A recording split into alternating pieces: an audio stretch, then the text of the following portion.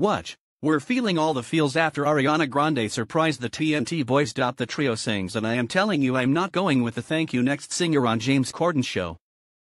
Manila, Philippines, after a performance that got a standing ovation on the world's best, the TNT boys made an appearance on the James Corden show on Wednesday, February 20th, Tuesday, February 19th.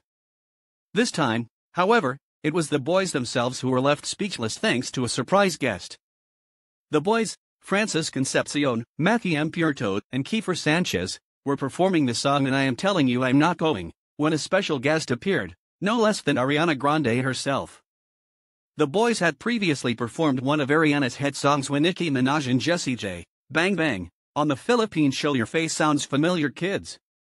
Read, five times the TNT boys impressed and amazed. Although the three looked shocked, they continued to sing with Ariana and even got the chance to hug her after their performance. You guys are so incredible, Ariana told them. That was so beautiful. In an Instagram post, the boys wrote, Is this even real? We sang with Ariana Grande. Thank you, James Corden, for making this possible. The boys have also appeared on both the US and UK editions of Little Big Shots this time, however, it was the boys themselves who were left speechless thanks to a surprise guest. The boys, Francis Concepcion, Matthew Empuerto, and Keifer Sanchez, were performing the song and I am telling you I'm not going, when a special guest appeared, no less than Ariana Grande herself.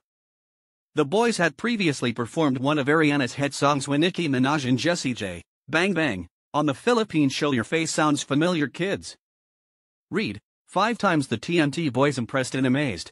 Although the three looked shocked, they continued to sing with Ariana and even got the chance to hug her after their performance.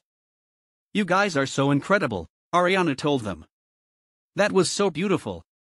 In an Instagram post, the boys wrote, Is this even real? We sang with Ariana Grande.